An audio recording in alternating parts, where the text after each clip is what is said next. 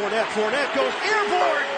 He's in. Touchdown, Jaguars. Tip and intercepted by Ramsey to close it out. It's over. The Jacksonville Jaguars have pulled off the upset of the playoffs. What is going on, everybody? It is Treeb from Treeb Talks here, here to recap the week number 11 matchup between the Jacksonville Jaguars and the Pittsburgh Steelers. Of course, last yesterday, last night, I did most of my recapping of the video, most of my rant, getting everything out of the way that I thought went bad, and a lot of it went bad. The first half was pretty good. Give that to the Jags. However, today I think I'm just going to be doing position grades and players of the week. So, ladies and gentlemen, without further ado, I am Treeb from BigJReport.com. This is the Jacksonville Jaguars versus Pittsburgh Steelers, week number 11, position grades and players of the week.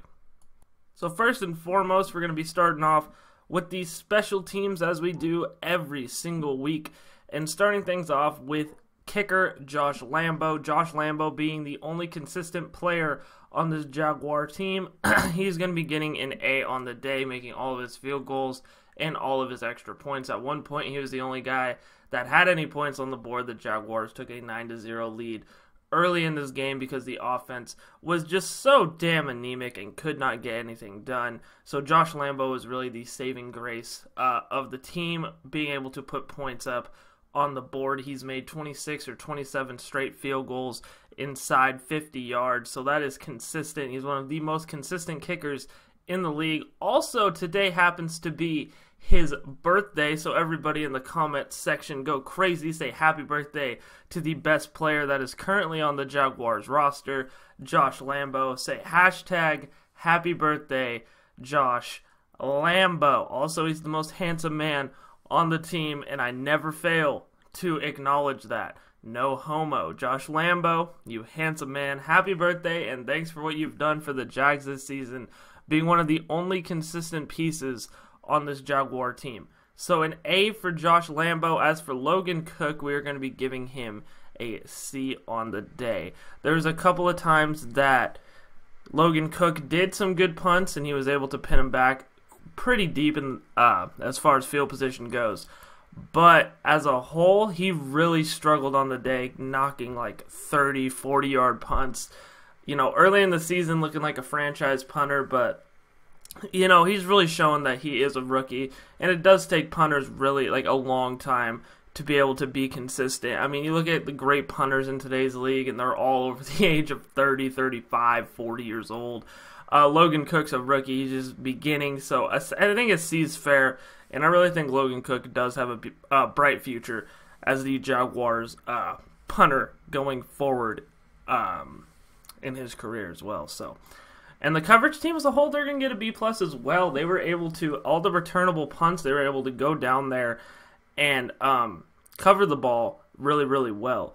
And they were able to do that consistently. DJ Chark has been one of the most consistent uh, special teams players going out there, laying the lick, almost looking like he should be playing defense instead of offense because his hitting skills might just be a little bit better uh, than his hands overall. So, coverage team as a whole, they are going to be getting a B plus on the day from me.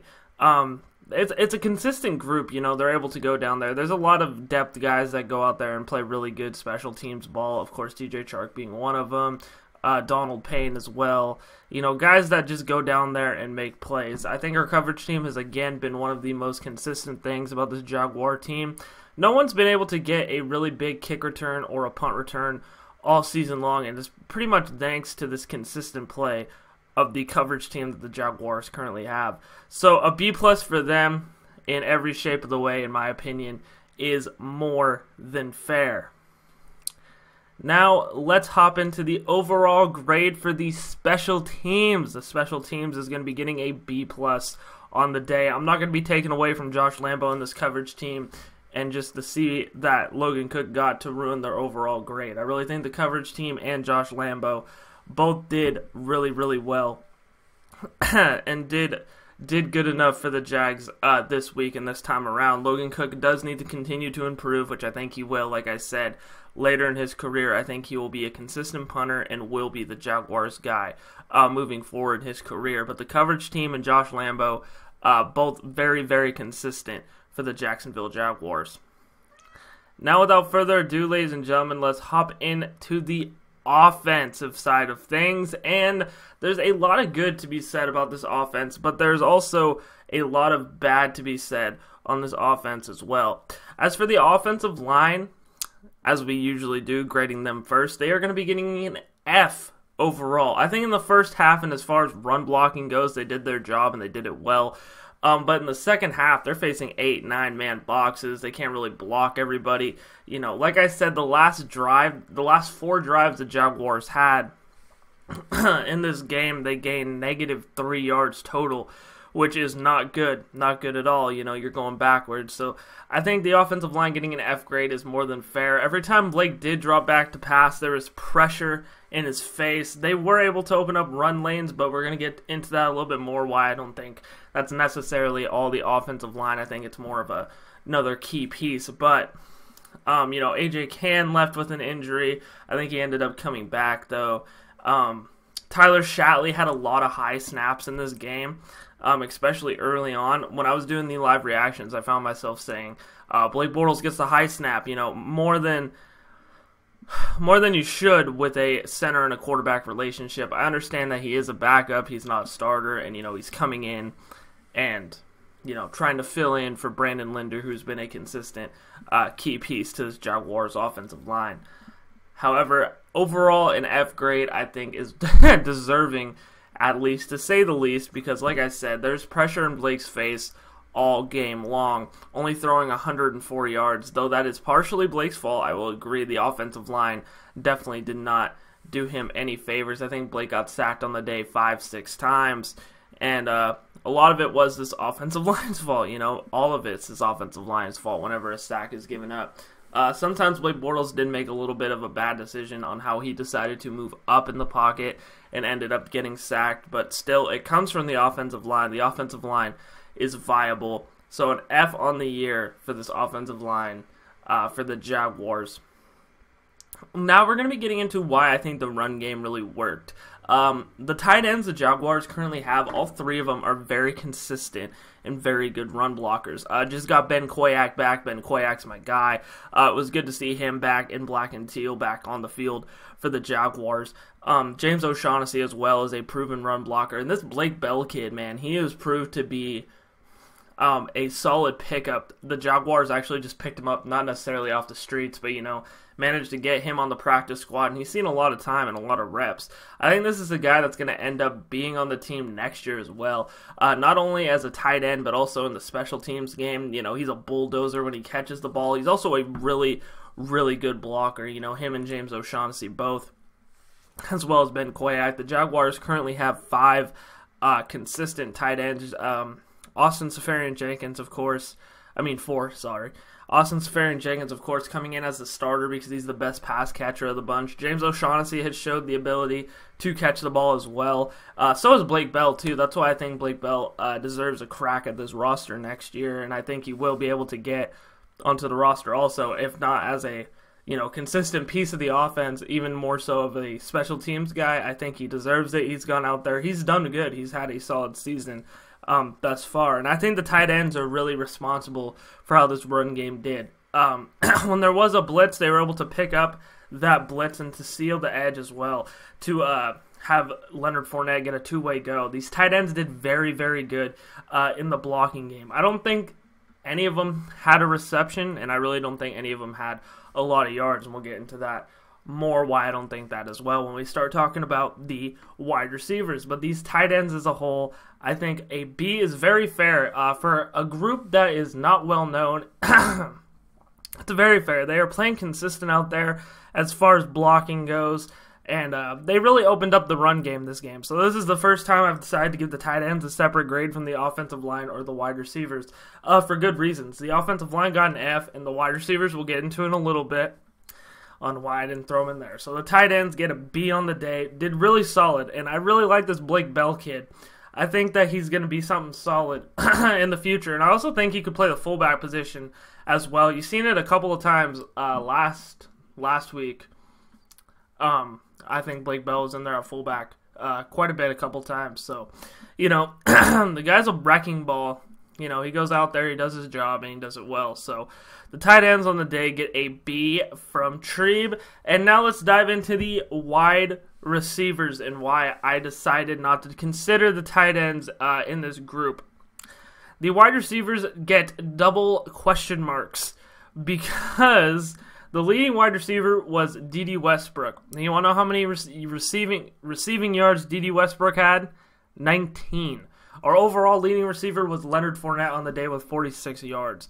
Dede Westbrook is the only receiver that has more than one reception. He had two, and it was for 19 yards. And that is just not enough. That's not enough to for me to grade a wide receiver core because you know the guy only had two. There's no like crazy drops or anything to where they deserve a D or an F.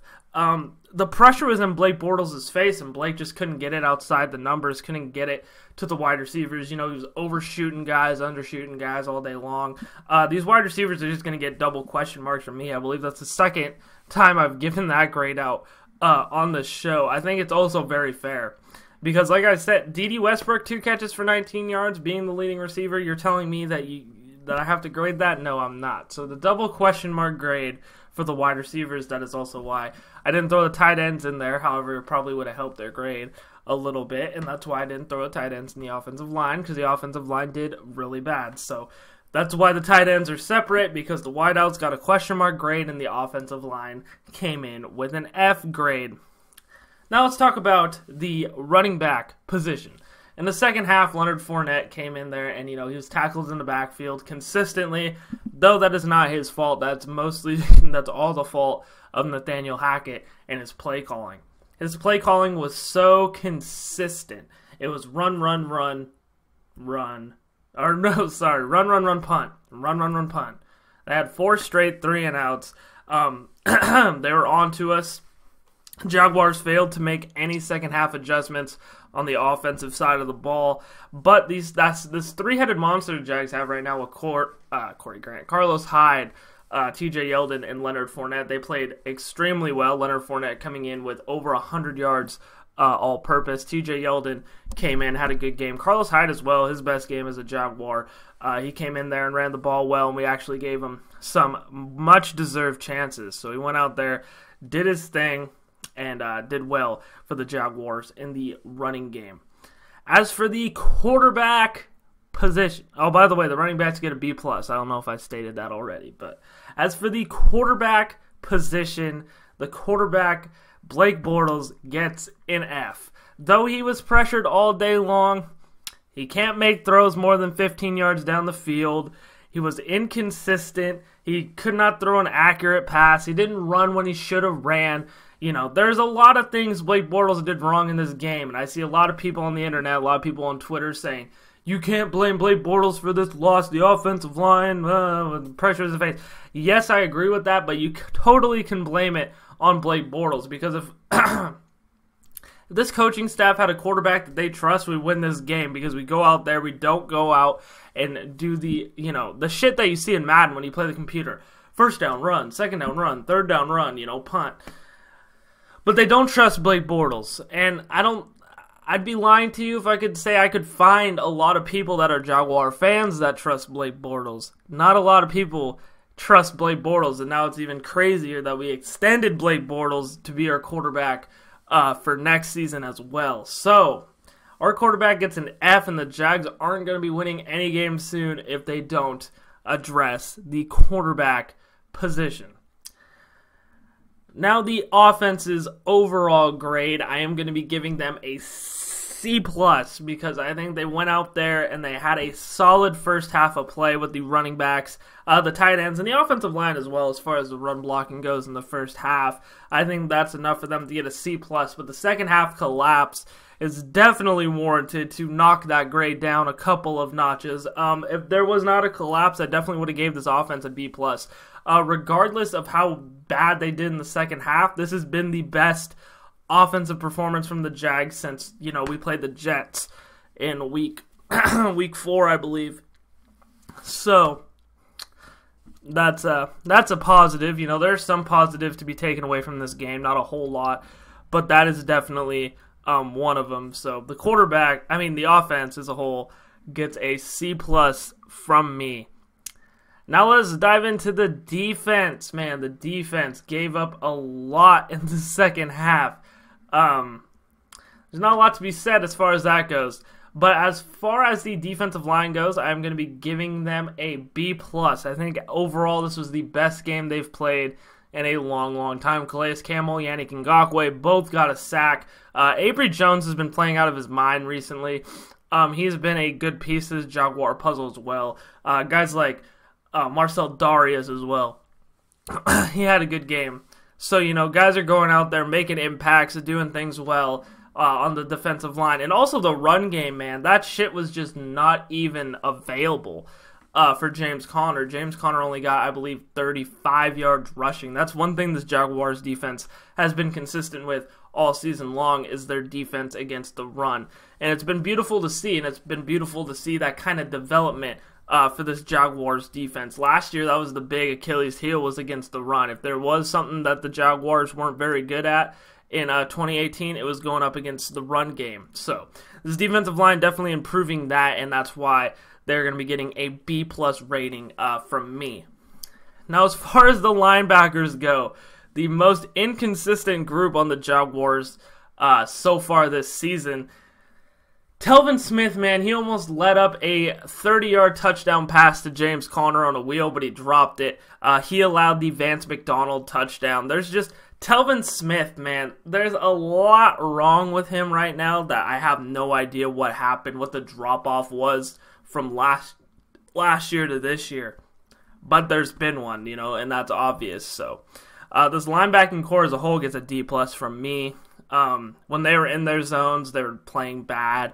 Uh, they didn't do necessarily anything explosive in the run game. So I think a D plus for those linebackers again is way more than fair on my end.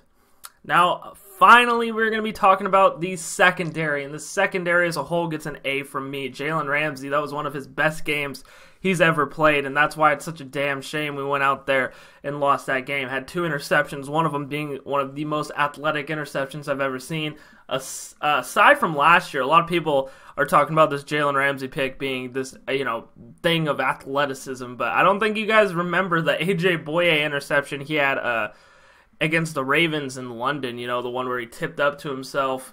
Uh, that one was beautiful as well. I think more athletic than this Jalen Ramsey interception. But Jalen Ramsey went out there in the first half, didn't allow Antonio Brown to get a single catch. Um, and then when he finally did, what defense do you think we were running? Yep, that's right. We were running zone defense. What a surprise that Jalen Ramsey let that happen on his own defense. Again, not his fault. It wasn't his zone. Miscommunication on the defense, something that we are all too accustomed of seeing this season. AJ Bouye also had a good game. Um, DJ Hayden as well. All the corners had a good game. The safeties as well. Barry Church kind of stepped up, had a rebound game. Um, you know, on second thought, I'm gonna be giving the secondary an A. I think they went out there and they did their job well against uh, probably the best passing offense in the league as far as weapons go. They went out there, handled business, covered all their weapons. Juju Smith Schuster with AJ. Uh, Jalen was on him a couple of times, and then same thing with AB and Jalen, AB and AJ. They went out there and they covered those two targets, and they did an exceptionally well job.